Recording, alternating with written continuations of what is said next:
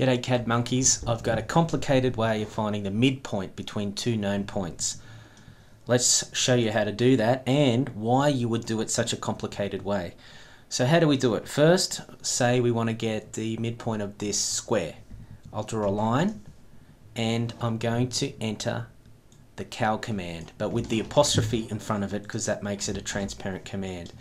So cal is the inline calculator in AutoCAD on the command line. So there we go, expression. Now what expression do I want to use here for what I'm trying to achieve? Well, it's going to be open bracket, CUR plus CUR, close bracket, forward slash 2. Now I pick one point and I pick another point and it finds the midpoint. That's how you do that.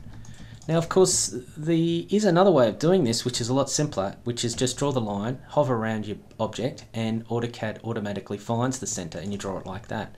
So why would I want this other cal long way of doing things, more complicated? Well, the simple reason is that you can make a macro out of that.